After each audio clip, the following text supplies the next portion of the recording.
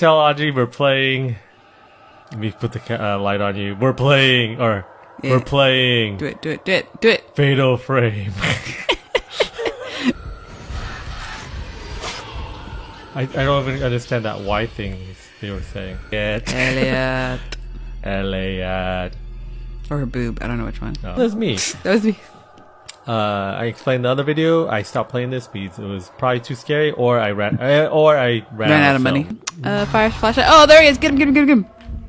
Get him. Oh, that, Man. that was a sh- This is where I why I waste so much film because I'm like, oh, there's a ghost. I need to find it. Oh. She's so pastel. But they don't have the bouncy boob technology, and I'm wondering if that's more of like we have a respect for it, or they just didn't have the bouncy boob technology. Uh, this technology. is Tecmo. Who, who's Tecmo? Tecmo are the people who made Dead or Alive. The bouncy boob technology, Yeah, right? yes. That's why I was ah. like, So they have access to the bouncy boob technology, but they're like.